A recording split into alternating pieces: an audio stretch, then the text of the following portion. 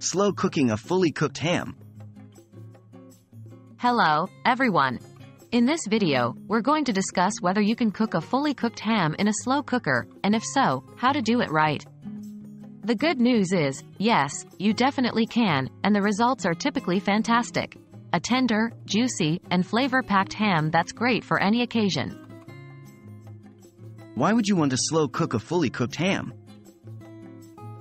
Fully cooked ham can be eaten cold, right out of the package. But slow cooking, it brings out even more flavor and ensures the ham is warm throughout. Slow cooking is also a perfect way to free up oven space if you're cooking multiple dishes at once, or to keep your kitchen cool on hot days. What do you need to slow cook a fully cooked ham? To slow cook a fully cooked ham, you'll need a slow cooker large enough to fit your ham, your fully cooked ham, optional, a glaze or other flavorings for your ham keep in mind that the ham should fit comfortably in your slow cooker. If it doesn't, you'll need to trim it down. How to slow cook a fully cooked ham. Here are the steps to slow cook a fully cooked ham. 1. Place your ham in the slow cooker. If your ham has a layer of fat, put the fat side up. 2. If you're using a glaze or other flavorings, apply them now. 3. Cover your slow cooker and set it to the low setting.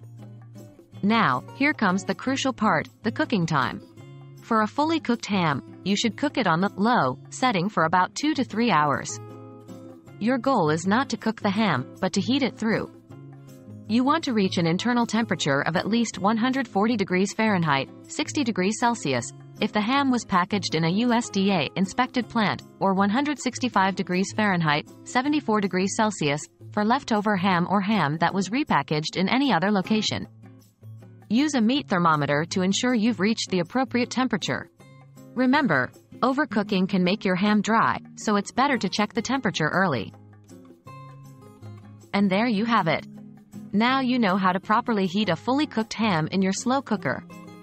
Remember, you're aiming for a gently warmed, flavorful ham, not trying to cook it again. We hope you found this video helpful and that your next slow cooked ham is a hit.